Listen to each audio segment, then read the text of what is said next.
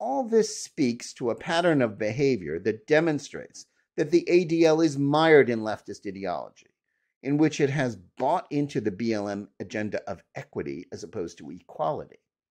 By emphasizing ideas about race and privilege, even though doing so gives a boost to the lies about Israel being an apartheid state, this undermines the interests and security of the people they're supposed to be standing up for.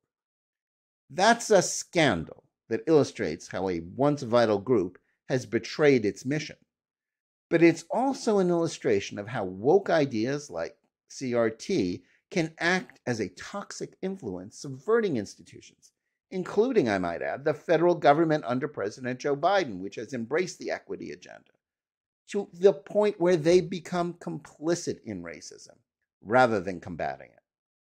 This also means that if the ADL is to retain even a sliver of credibility, it will require more than a pro forma review about misaligned lesson plans.